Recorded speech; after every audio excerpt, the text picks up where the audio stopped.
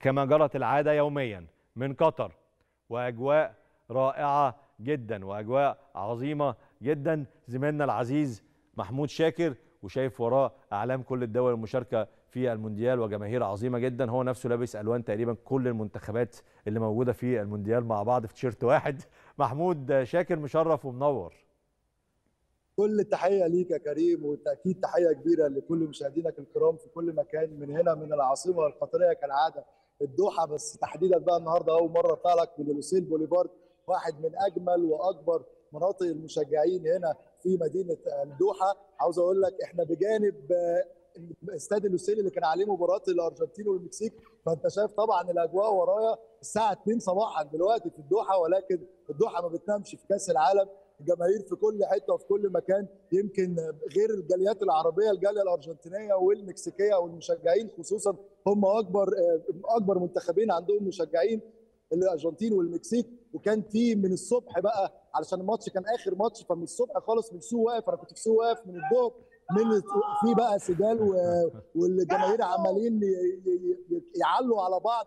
طبعا جمهورين جمال جدا جدا ومن أجمل الجماهير اللي اللي بتشجع أكيد في أمريكا اللاتينية وأمريكا الشمالية. عاوز أحكي لك أكيد عن المنتخب السعودي عاوز أحكي لك عن المنتخب التونسي جماهير المنتخب التونسي عندها للأسف حاله من الإحباط شوية لأن مباراة المنتخب الأسترالي يعني كانوا شايفين إن هي في المتناول ممكن تكون أقل المباريات قوة في المجموعة ولكن المنتخب التونسي أضاع فرصة كبيرة جدا جدا النهارده. لو كان أخذ الثلاث نقط كان بمنتهى السهولة يتأهل للدور الثاني. اتكلمت مع الجماهير التونسية بيتكلموا معايا شايفين إن منتخب تونس مهم ومحتاج مدرب مدير فني عالمي أجنبي المدير الفني الوطني ما بيقدمش أي حاجة وإن المدير الفني الوطني اتغير بسرعة قبل بداية المونديال فهم شايفين إن في لعيبة كتيرة قوي خلاص انتهت صلاحيتها وإن هي كبرت في السن وما بقتش قادرة تقدم للمنتخب التونسي. هدخل لك على الجماهير بقى المنتخب السعودي اللي هم أجمل حاجة دلوقتي لغاية دلوقتي في المونديال بسبب كثرتهم الكتيرة جدا. النهارده عملوا مسيرة قبل المباراة بالظبط بثلاث ساعات من الفان زون بتاعتهم ودخلوا كريم على الاستاد. ولكن طبعا شفنا الاستاد النهارده زي ما أنا سمعتك في ال intro 90% كان جماهير المنتخب السعودي. واتكلمت معاهم بعد المباراة قلت لهم هل هل أنت شايف إن المنتخب السعودي قادر؟ قالوا لي المنتخب السعودي قابله سوء حظ كبير جدا النهارده. ضربة الجزاء بتاعت سالم الدوسري لو جت كانت هتفرق معاهم بشكل كبير. بالعكس ده قالوا لي إن المنتخب السعودي النهارده قدم كورة أجمل من كورة مباراة الأرجنتين وإن هم عندهم أمل كبير جدا في المباراة الجاية إن هم يقدروا يعدوا المكسيك. وبيكلمني بيقول لي المنتخب السعودي هيتأهل مع المنتخب الأرجنتيني. وزي ما أنت شايف هنا جماهير في كل حتة كريم مش قادر أوصف لك الموضوع بجد جميل إزاي. بقول لك إيه أنا مبسوط قوي من الصورة. أنت مش شايف اللي بيحصل وراك أصلا؟ أنا شايف أنت مش شايف. أنا مش عارف ابردش لا لا عايز أقول لك الأجواء دي عظيمة جدا. أنا أنا شفت مثلا بتاع 10 جنسيات لحد دلوقتي ماشيين من وراك أرجنتيني ومغربي وسعودي ومكسيكي وألماني. يعني شفت كل الجنسيات حواليك. أنت في منطقة واضح إنها منطقة رائعة جدا. هي بالظبط يا كريم لوسيل بوليفارد واحدة من أجمل الأماكن هنا. عاملين يعني عاملين فعاليات واحتفالات في كل حتة كل نص ساعة بيبقى في كده شو صغير على جنب من الجنبين في الرصيف والإعلام زي ما أنت شايف أهو أكتر من ست أماكن فيهم الإعلام دي كلها كل أعلام المنتخبات في في المونديال.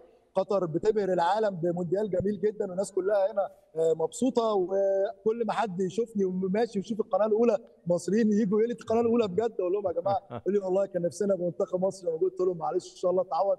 في 2026 طيب وعلى بقول لك فكرة كريم والله فضل. كل ما بعمل لقاء مع حد المنتخب السعودي مغاربة توانسة كله بيقول لي أنتوا بس اللي ناقصين هنا في المونديال فنقول لهم إحنا معاكم قلبا وقالبا وبالتوفيق أكيد لكل المنتخبات العربية. طيب عايز اسالك بقى الجماهير السعودية بعد المباراة النهارده كان ردود أفعالها إيه؟ هل في حزن شديد من الأداء؟ هل هم راضيين عن الأداء؟ لسه عندهم تمسك بالأمل في مباراة المكسيك؟ ردود الأفعال إيه بالنسبة للجماهير السعودية؟ بعد بعد المباراة كريم فضلوا موجودين في الاستاد بيشجعوا اللعيبه بتاعتهم وقعدوا يهتفوا وهم عندهم أمل. طبعا هم لما جيت هنا هو الاستاد بعيد عن هنا مش مش في المنطقة دي ولكن هم زي ما بقول لك موجودين في كل مكان. اتكلمت معاهم وعملت معاهم لقاءات الكل بيقول لي لا إحنا منتخب كويس والنهارده إحنا خسرنا بأخطاء فردية.